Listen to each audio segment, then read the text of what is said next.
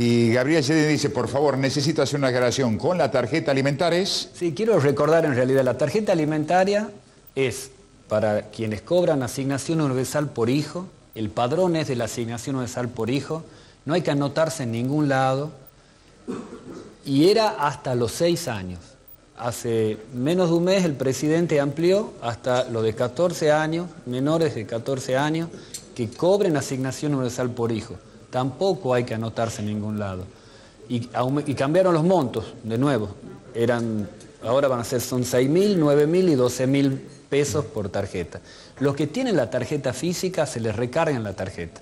Los que no tienen tarjeta física porque se amplió el padrón, eso se va a depositar directamente en la asignación universal por hijo en la misma cuenta.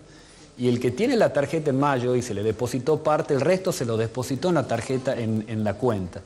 En los meses subsiguientes va a seguir funcionando de esta manera. El que tenga tarjeta se va a depositar en la tarjeta y el que no tenga tarjeta se va a depositar en la cuenta. La expectativa es poder en algún momento entregar tarjeta a todos porque con la tarjeta de alguna manera los estudios han mostrado que la gente gasta mejor en la compra específica de alimentos y se puede tener un mejor control en qué consumen los alimentos. Pero no es momento hoy de hacer grandes operativos, de juntar gente, entonces hasta que la situación sanitaria se mejore, va a seguir siendo esta modalidad de tarjetas y depósito en la cuenta. Lo que sí le pedimos a todos, de nuevo, a los que producen, distribuyen y venden alimentos, que sean prudentes con los precios que pongan, Estamos muy preocupados por el aumento del precio de los alimentos y a los que van a usar este beneficio que intenten comprar carnes, leche, frutas y verduras porque necesitamos además que la gente no solo no tenga hambre sino que coma mejor.